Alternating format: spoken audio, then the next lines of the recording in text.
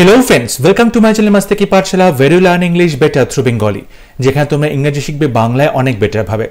Precis writing এর ক্লাসে আবার একবার তোমাদের সবাইকে ওয়েলকাম করছি। আমরা পিকেদের সরকারের বইতে প্রেসি রাইটিং এর যে সমস্ত এক্সারসাইজগুলো আছে, সেখান থেকে সিলেক্টিভ কিছু এক্সাম্পলস আমরা সলভ করছি। আজকে আমরা যে এক্সাম্পলটা সলভ করব, সেটা এক্সাম্পল নাম্বার ফর্টি প্রথমে আমরা প্যাসেজটা পড়ব এবং প্যাসেজের বাংলা মানে বোঝার চেষ্টা করব।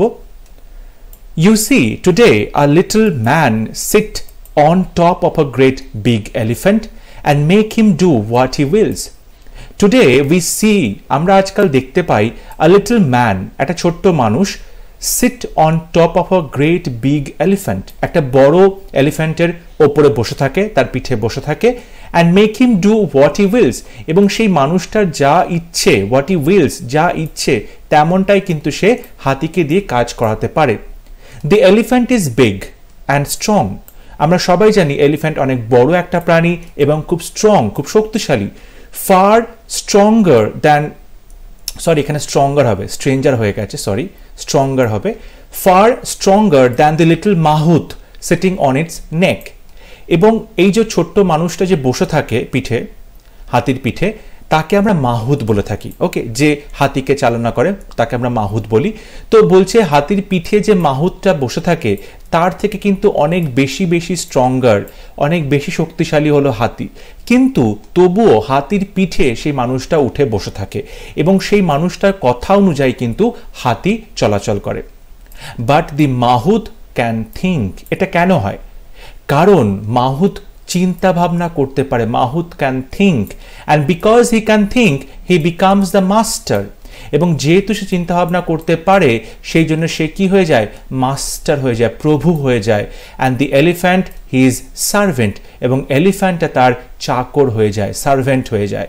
যেহেতু মানুষের চিন্তা করার ক্ষমতা আছে, তাই জন্য মানুষ অন্যান্য প্রাণীদেরকে নিজেদের অধীনে রাখতে সক্ষম হয় এবং অন্যান্য প্রাণীদের কাছে মানুষ তার মাস্টার বা তার প্রভু বা তার মালিক হয়ে যায়। So as thought grew in man এতক্ষণ যেটা বলতে চাওয়া হলো সেটা হচ্ছে থট গ্রিউ ইন ম্যান যেহেতু চিন্তা ভাবনা থট চিন্তা ভাবনা মানুষের মধ্যে বাড়তে শুরু করল, মানুষের মধ্যে জন্মালো চিন্তা ভাবনা জন্ম হলো। He became cleverer and wiser সে তত বেশি চালাক হয়ে গেল এবং জ্ঞানী হয়ে উঠল। মানুষের মধ্যে যত বেশি চিন্তা ভাবনার উদয় হলো, তত মানুষ চালাক হলো এবং ওয়াইজার হলো। He found out many things সে নিজে নিজে অনেক কিছু আবিষ্কার করতে শিখলো। যেমন how to make a fire কি করে আগুন জ্বালাতে হয়? How to cultivate the land কি করে জমি চাষ করতে হয়? অ্যান্ড গ্রো হিজ ফুড এবং নিজের খাবার তৈরি করতে হয়।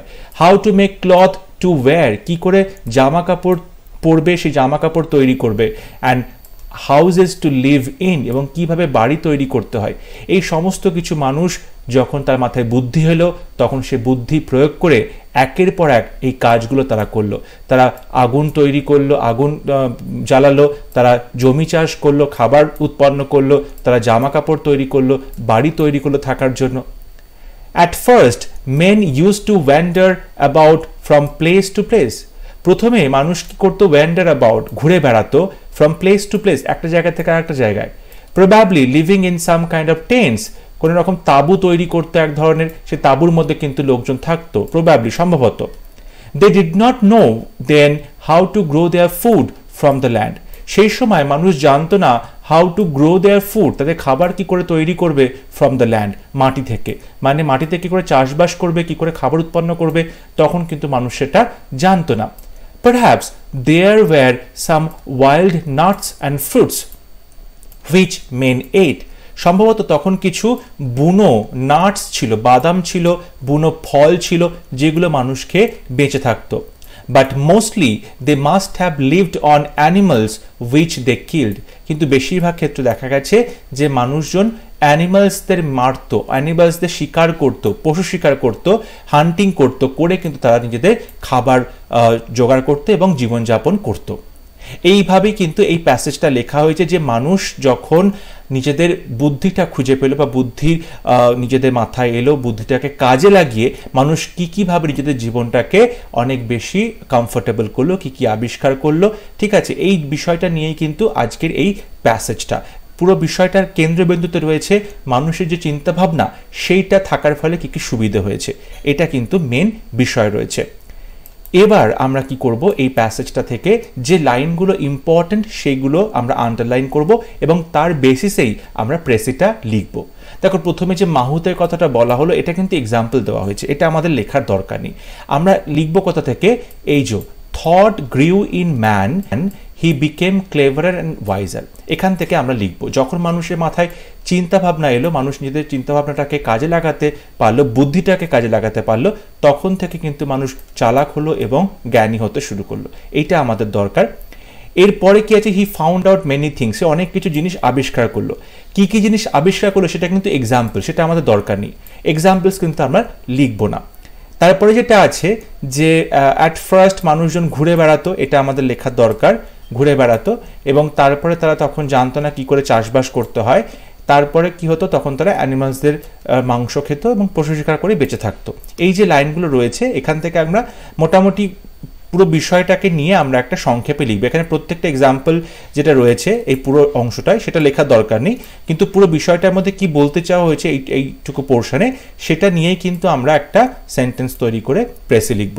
আর যে লাইনটা দাগানো হলো প্রথমে, এই thought okay he found out many thing এই মেনলি এই তিন চারটে লাইনের উপর বেস করেই কিন্তু তোমাকে প্রেসি রাইটিংটা করতে হবে। ওয়ান ফিফটি সিক্সটা ওয়ার্ডস আছে, এটাকে যদি ওয়ান থার্ড করা হয়, তাহলে এটা মোটামুটি তুমি বলতে পারো ফিফটি টুটা মতো words fifty two fifty two ওয়ার্ডসের মধ্যে তোমাকে এই প্রেসিটা লিখতে হবে। প্রেসিতে কোন কোন সেন্টেন্সগুলো আমি একটু আগে দাগিয়েছি, সেগুলো এখানে আমি পরপর লিখে নিয়েছি, তোমরা একবার দেখে নেবে। প্রেসি রাইটিংয়ে আমি যে হেডিংটা দিয়েছি, সেটা হচ্ছে thinking capabilities of human beings thinking capabilities of human being মানুষের চিন্তাভাবনা করার যে ক্যাপাবিলিটিস রয়েছে, ক্ষমতা রয়েছে। Thinking capabilities of human beings মানুষের চিন্তা শক্তি okay man became intelligent and sagacious with his thinking man became intelligent মানুষ কি হলো? ইন্টেলিজেন্ট হয়ে গেল, বুদ্ধিমান হলো অ্যান্ড সাগাসিয়াস মানে হচ্ছে প্রচণ্ড নলেজ রইল, প্রচণ্ড জ্ঞানী হয়ে গেল। ঠিক আছে, সেই সেন্সে তোমরা বলতে পারো সাগাসিয়াস উইথ হিজ থিঙ্কিং তার চিন্তাভাবনার জোরে মানুষ কি হলো? খুব বুদ্ধিমান হলো এবং খুব জ্ঞানী হয়ে উঠল। He managed his daily life with new innovations he manage say manage করল তার ডেইলি লাইফ প্রাত্যহিক জীবনকে উইথ নিউ ইনোভেশনস নতুন নতুন আবিষ্কারের দ্বারা। এই যে নতুন নতুন আবিষ্কার, এইগুলোর বল, এটার মধ্যেই কিন্তু বলতে চাওয়া হয়েছে যে, সে আগুন আবিষ্কার করেছে, চাষ করতে শিখেছে, নিজেদের ঘরবাড়ি তৈরি করেছে জামা কাপড় বানিয়েছে। ঠিক আছে সব কিছু কিন্তু এই ইনোভেশনসের মধ্যে চলে আসছে। তোমাকে এক্সাম্পলসগুলো লেখার দরকার নেই, তোমাকে মেন বিষয়টা লিখতে হবে। ইনিশিয়ালি প্রথমের দিকে হি ইউজ টু ট্রাভেল সে কি করতো, ঘুরে বেড়াতো and have animals as food এবং পশুগুলোকে খেত খাদ্য হিসাবে। পশু শিকার করে পশুর মাংস খেত। বাট লেটার কিন্তু পরবর্তীকালে he learned how to cultivate সে শিখে নিয়েছিল হাউ টু কাল্টিভেট কি করে চাষ করতে হয়।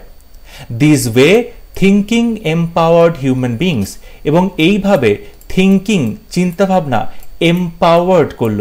মানুষকে অনেক বেশি ক্ষমতাবান করল এম্পাওয়ার করল হিউম্যান বিংসকে এই ফলে চিন্তাভাবনাটা আসার ফলে হিউম্যান বিংস অনেক বেশি এম্পাওয়ার্ড হলো, অনেক বেশি ক্ষমতাবান হলো। এবং এভাবেই আমি প্রেসিটাকে লিখেছি অ্যাটেম্প করেছি। তোমাদের যদি কোনো সাজেশন থাকে, অবশ্যই তোমরা আমাকে সেটা কমেন্টে লিখে জানাবে। আজকে ক্লাস কেমন লাগল? অবশ্যই সেটা আমাকে জানাবে। যদি ক্লাস ভালো লেগে থাকে ভিডিওটা তোমার লাইক করবে শেয়ার করবে and don't forget to subscribe to my channel পরবর্তী ক্লাস নিয়ে খুব শীঘ্র দেখা হবে। ততক্ষণ সবাই ভালো থাকবে, সুস্থ থাকবে। Thank you